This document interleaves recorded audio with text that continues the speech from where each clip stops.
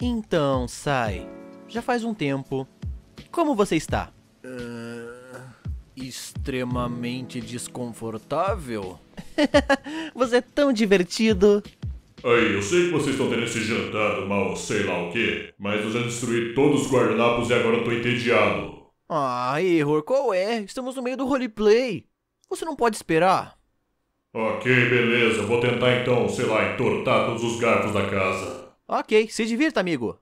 Blue, o que você quer dizer com roleplay? Ah, você sabe. O roleplay do Clube da Amizade.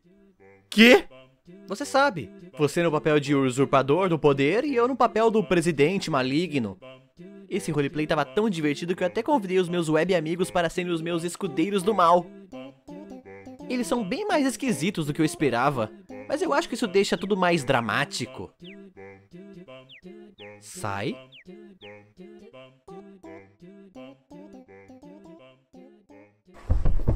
Você tá bem?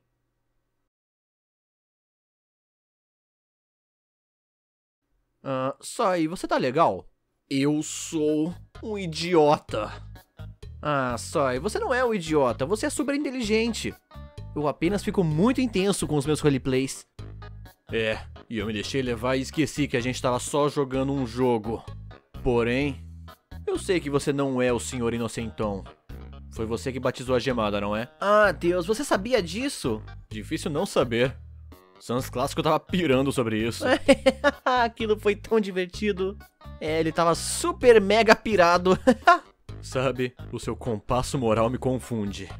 Ah, mas, sai. Isso quer dizer que a gente tem que parar o roleplay? Porque eu tinha também outros planos malignos super irados que eu queria fazer.